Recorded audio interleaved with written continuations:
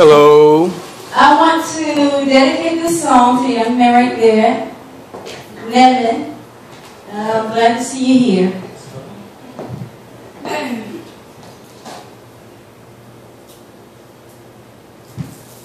Oh, holy night, the stars are brightly shining. This is the night of my dear Savior's birth. Long lay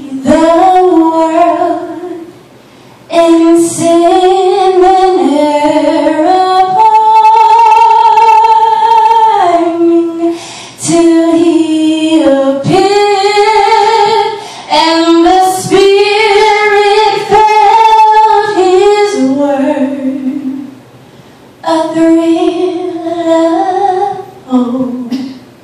The weary world rejoices for yonder breaks a new